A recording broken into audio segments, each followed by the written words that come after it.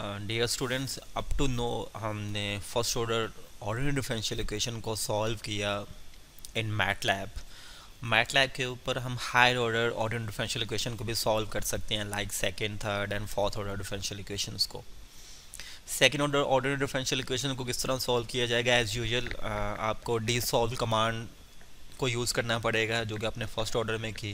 तो second order पे भी डी सॉल्व कमांड जो है वो वर्क करती है. अब सेकेंड ऑर्डर डिफरेंशियल इक्वेशन में डेफिनेटली सेकेंड डेरिवेटिव्स इन्वॉल्व होंगे। Uh, तो सेकेंड डेरिवेटिव्स को मैट uh, लैब के अंदर किस तरह लिखेंगे वो भी हम उसकी प्रैक्टिस करते हैं। और सिमिलरली इसी तरह uh, आपने सेकेंड ऑर्डर डिफरेंशियल इक्वेशन से जो सोल्यूशन काव्स आएगा uh, उसका पर्टिकुलर सोल्यूशन भी फाइंड आउट कर सकते हैं by corresponding to some initial और बाउंड्री कंडीशंस हमारी जो प्रॉब्लम है हमने जो सॉल्व करना है D uh, d2y over uh, dx square uh, plus 8 uh, into dy and over dx example this is 8 and this is 8 and then plus 2 y uh, is equal to cos x. This is uh, non homogeneous second order order differential equations इसको हम MATLAB के अंदर solve करेंगे। For example first of all clear all and then close all then आपकी equation जो original है uh, उसे MATLAB के अंदर लिखेंगे हम inside the quotes d2 which means second derivative. D2y is equal uh, plus 8 and into uh, dy first derivative and then plus 2 into y is equal to cosine of x. And then further uh, y equal to D solve command हम use करेंगे यहाँ पे equations and then inside the quotes type x and then press the execution button. Definitely ये पूछेगा आपको solve mat lab जब आप इसे रन करेंगे डेटर uh, फ़ाइल को तो आपको इसे सेव करना पड़ेगा। सेव से for example second order equations जब आप इसे सेव करें तो स्पेस प्रेस ना कीजिएगा। मतलब स्पेस की प्रेस ना कीजिएगा, इसको ऐसा ऐसे ही सेव कीजिएगा। अगर आप स्पेस की प्रेस करेंगे तो वाइल एग्जीक्यूशन ये आपको एरर देगा, क्योंकि मैटलैब में बाय डिफ़ॉल्ट जो आपने फ़ाइल सेव करनी है, वो स्पेस बार की यूज़ किए बगैर आपने करनी है। हमारे पास जो सोल्यूशन कव आया एंड दैट इज़ दिस ये सोल्यूशन कर्व है C two and C three definitely इसमें हमारे पास टू कांस्टेंट्स अपीयर होंगे। ये सेकंड ऑर्डर डिफरेंशियल इक्वेशंस हैं। तो इसके जर्नल सोल्यूशन में दो कांस्टेंट अपीयर होंगे। One is C two and the other is C three तो अगर आप इसका पर्टिकुलर सोल्यूशन फाइंड आउट करना चाहते हैं तो देन आपको कुछ इनिशियल कंडीशंस डिफाइन करनी पड़ेंगी।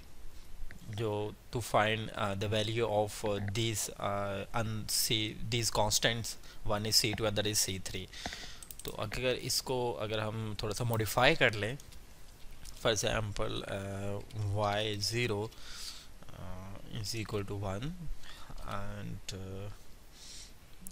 Y prime 0 that is second derivative first derivative, that is is equal to suppose हम टू ले लेते हैं। तो यहाँ पे भी हमें इन कंडीशंस को initial conditions is equal to inside the quotes first of all that is five and zero is equal to one then comma type comma and then after that D of Y first एडवेटिव at zero is equal to two and then इनको incorporate करना पड़ेगा हमें d solve command के अंदर plus comma और then अगर आप ये सोल्यूशन फाइंड आउट करेंगे, अब आपका जो सोल्यूशन आया है, ये आपका पार्टिकल सोल्यूशन है corresponding to some particular initial conditions पे। ये आपका वो इसमें सी टू और सी थ्री की वैल्यू जो है वो रिप्लेस हो गई है। देन आफ्टर डैट अगर आप इसे ज़ीरो कर दें तो सोल्यूशन की थोड़ी सी और मॉडिफिकेशन हो जाएगी हमारे पास। That is this one this this solutions then further that अब इसको आप प्लॉट uh, कर सकते हैं uh, इसके काव्स को ये जो आपका पर्टिकुलर सॉल्यूशंस आया है given second order differential equations का। प्लॉट कमांड यूज़ करके इनको प्लॉट भी किया जा सकता है। फॉर एग्ज़ाम्पल इनको प्लॉट किस तरह आप करेंगे? सबसे पहले आपको वेक्टर एक्स को डिफ़ाइन करना पड़ेगा। इसको थोड़ा मॉडिफाई कर लेते हैं। फॉर एग्ज़ाम्पल हमारा जो इनपुट फैक्टर है वो होगा हमारा ज़ीरो एंड वन एंड और उसमें इंक्रीमेंट जो है वो ज़ीरो पॉइंट वन के, और जो हमने कमांड यूज़ करनी है वो है प्लॉट कमांड input vector हमारे पास x is equal to 0 and then colon sign and 0.1 and up to 1 uh, ये x हो गया। ठीक है। अब हम इसे प्लॉट कर देंगे। That is x and that is y. इसको जब आप एग्जीक्यूट करेंगे तो इसने एरर शो किया। एरर क्या है? Conversion to double from sym is not possible from यानी आपके पास जो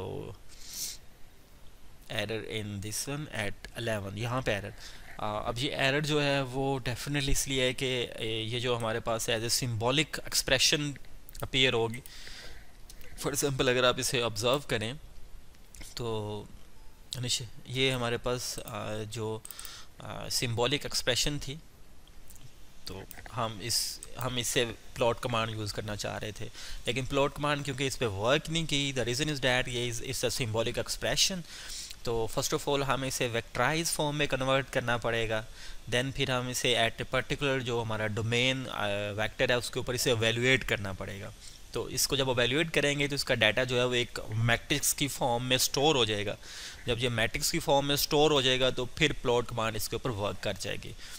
तो उसके लिए हमें क्या करना पड़ेगा? द रीज़न इज़ डैट इस एरर को रिमूव करने के लिए सपोज़ uh, यहाँ पे हम अवेलुएट कर लेते हैं इसे अवेलुएट uh, फॉर्म में फिर वेक्टराइज इन कमांड को आप अलहदा से भी राइट डाउन कर सकते हैं। ऑलरेडी इनके ऊपर काफ़ी डिस्कशन हो चुकी है। मैं नहीं समझता कि आपको कोई इनको अंडरस्टैंड करने में कोई डिफ़िकल्टी आएगी। तो ये हमारा सोल्यूशन काफ जो है वो प्लॉट हो गया। जो हमारा रिमेनिंग डाटा है, उसको भी हमने वेक्टर फॉर्म में ले गया आउटपुट और इनपुट दोनों वेक्टर अब वेक्टर फॉर्म में स्टोर हैं। तो मैटलैब जो है, इनके पॉइंट्स को इजीली जो है वो ज्वाइन कर देगा और हमारे पास एक इसका कव ड्रॉ हो गया। सिमिलरली आप family of solutions find out करना चाहते हैं। आप uh, ये जो इनिशियल कंडीशंस हैं इनको पर्टिकुलर वेरिएबल साइन करना चाहते हैं। For example this is this one तो सपोज़ से हम ए असाइन कर देते हैं जो जो हमारे पास इनिशियल कंडीशंस हैं। Uh, यहाँ पे भी जो हमने डिफ़ाइन की है हम इनको एक पर्टिकुलरी कोई वैल्यूज़ असाइन कर देते हैं। तो अब जो हमारा सोल्यूशंस uh, कब आएगा फॉर एग्ज़ाम्पल इसको हम सॉल्व करेंगे तो देन सोल्यूशन देखते हैं अब हमारा जो सोल्यूशन कर्व आता है वो किस तरह का आता है। डेफिनेटली सोल्यूशन कर्व के अंदर ए वेरिएबल जो है वो अपीयर हो रहा है।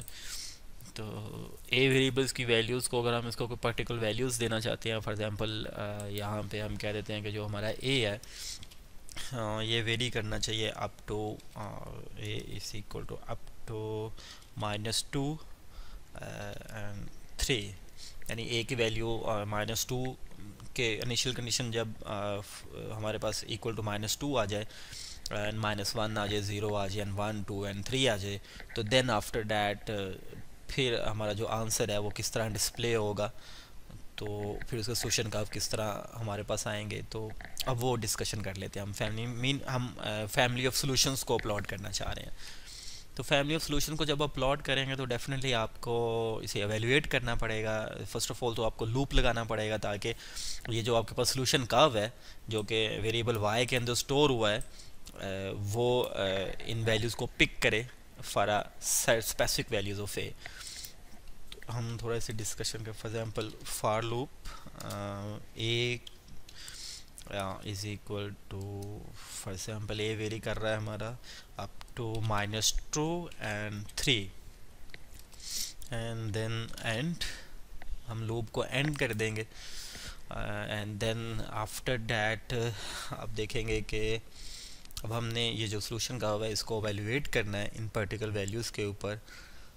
तो for example that is Y one कह लेते हैं उसे Y one substitute command use कर लें आप। फेमिलियर हैं इस कमांड से आप।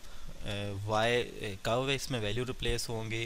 ए की जगह पे एंड देन सपोज़ अगर इसे हम वेरिएबल थोड़ा डिफरेंट कर लें, इसे हम ए वन कर लें तो ए वन दिस अब इसे एग्जीक्यूट करते हम। एग्जीक्यूशन कमांड में हमारे पास है undefined function of variable A अब ये एरर हमारे पास आ गया, हमने इसे डिफाइन नहीं किया, लेकिन हमने इसे न्यूमेरिकल वैल्यू तो यहाँ पे साइन की हैं। रीज़न इज़ डैट कि हमने इसको ओवरऑल डिफाइन नहीं किया तो हम इसे as a symbolic variable assign करके ये एज ए सिम्बॉलिक वेरिएबल है सिम्बॉलिक एक्सप्रेशन के अंदर अपेयर हो रहा है। तो हम इसे यहाँ पे एज सिम्बॉलिक वेरिएबल डिफाइन करते हैं और देन देखते हैं कि हमारा जो आउटपुट है डेफिनेटली ये हमारे पास आउटपुट हो गए। यानी माइनस टू के लिए एक कव कैलकुलेट हो गया, जब ए की वैल्यू माइनस वन होगी तो फिर उसके लिए सेकेंड जब ए की वैल्यू ज़ीरो होगी तो फिर ए कव कैलकुलेट हो गया, फिर वाई वन को कैलकुलेट कर लिया गया एट ए वन के ऊपर ए टू के ऊपर and then finally at A G two three के ऊपर सोल्यूशन कव जो है वो कैलकुलेट हो गया। अब हमारे पास ये one two three up to four five six curves हमारे पास डिस्प्ले हो रहे हैं यहाँ पे। हम अब इनको प्लॉट करना चाह रहे हैं। यूजिंग प्लॉट कमांड तो इट्स वेरी इजी क्योंकि ये सारी सिंबॉलिक एक्सप्रेशंस हैं। X is a symbolic variables तो हमें इन्हें फ़र्स्ट ऑफ़ ऑल इनको अवेलुएट करना पड़ेगा। Uh, इनको अवेलुएट करने के लिए सपोज़ uh, हम अलहदा से एवेलुएट कर लेते हैं। आप यहाँ पे भी कर सकते हैं इसे एवेलुएट यहाँ पे एवेलुएट कमांड अगर आ, साथ अटैच कर दी जाए तो फिर वो डाटा नोमेरिकल फॉर्म में कन्वर्ट हो जाएगा वो। Evaluate then vectorize vectorize form yes Y one के डाटा को हमने एवेलुएट करना है. देन ये हम एग्जीक्यूट करते हैं इसे after that error in this one. अब यहाँ पे एरर हमारे पास शो हुआ है. Then the error is that अब हम इस एरर को रिमूव करते हैं. Error using evaluate undefined function of variable X definitely X defined नहीं किया हमने. Uh, कि क्योंकि uh, जो हमारा सोल्यूशन कर्व है डेफिनेटली उनमें एक्स अपीयर हो रहा है. तो एक्स को हमने क्या डिफ़ाइन करना है ताकि डाटा जो है नोमेरिकली कन्वर्ट हो जाए सारा. तो एक्स को हम क्योंकि इंटरवल था हमारा तो उसको हम डिफ़ाइन कर लेते हैं. x is equal to zero to zero point one and then one then अब हम इसको वैल्यूएट करते हैं. Then what's happened yes we are lucky कि हमारी ये कमांड वर्क कर गई है. तो अब आ, हर कर्व को नोमेरिकल डाटा में कन्वर्ट कर दिया गया means Y two for A is equal to minus two के लिए आ, जो आउटपुट वेक्टर है वो ये आ जाएगा हमारा. Corresponding to some specific value of X फिर ए माइनस वन के लिए आ, हमारे पास ये कर्व आ जाएगा ए थ्री के लिए तो ये हमारे पास कर्व हो गए अब हम इनको प्लॉट करेंगे using plot command for example this is plot and plot x x and then y2 y2 में न्यूमेरिकल डाटा पड़ा हुआ है तो हम इसे प्लॉट करते हैं एंड देन देखते हैं कि क्या फैमिली ऑफ़ सॉल्यूशंस टू लेकिन इसने सिर्फ़ एक कब ड्रॉ किया है डेट इज़ फॉर एज को माइनस टू रिमेनिंग जो सोल्यूशन कव्स हैं, वो प्लॉट नहीं किए गए। रीज़न इज़ डैट के हमने यहाँ पे अब हमें होल्ड ऑन कमांड को यूज़ करना पड़ेगा ताकि जो आ, सारे कर्व्स को ये प्रिजर्व रखे और सारे कर्व्स को जो है वो मैटलैब जो है वो शो करे उसके लिए होल्ड ऑन कमांड यूज़ करनी पड़ेगी। देन एग्जीक्यूट करते हैं हम इसको। दिस इज़ ये हमारे डिफरेंट काव्स हो गए फॉर डिफरेंट इनिशियल कंडीशंस के लिए हमारे पास सोल्यूशन काव्स जो हैं वो प्लॉट हो गए हैं। तो ये आ, हमारी डिस्कशन होगी सेकेंड ऑर्डर डिफरेंशियल इक्वेशंस के ऊपर फिर उसको हमने जर्नल सोल्यूशन फाइंड आउट किया फिर देन हमने आ, उसको प्लॉट किया उसके पर्टिकुलर कर्व को फिर हमने उसके फैमिली ऑफ़ सोल्यूशंस कर्व्स को प्लॉट किया। सिमिलरली uh, आप higher order differential equation like third order differential equations को भी सॉल्व कर सकते हैं बाय सम स्पेसिफिक कंडीशंस अच्छा यहाँ पे एक पार्ट नोट uh, कीजिएगा कि मैंने जो इनिशियल कंडीशन डिफाइन की हैं उसमें मैंने दोनों इनिशियल कंडीशन में जो वेरिएबल्स है uh, जिसको वेरी करना है वो मैंने एक स्पेसिफिक रखा है। लेकिन आप ये वेरिएबल यहाँ पे एक और वेरिएबल बी भी असाइन कर सकते हैं। लेकिन उसके लिए फिर आपको यहाँ पे दो फॉर लूप चलाने पड़ेंगे। फॉर ए, एक इस इस वैल्यूज़ के लिए और एक आपको बी की वैल्यू के लिए। तो दो दो फार लूप होंगे और दो दफ़ा आपको एंड करना पड़ेगा स्टेटमेंट को और आपके जो कर्व्स हैं वो अपेयर हो जाएँगे। आप प्रैक्टिस कीजिएगा उसे कि अगर आप डबल फार लूप लगाते हो तो देन व्हाट हैपेंड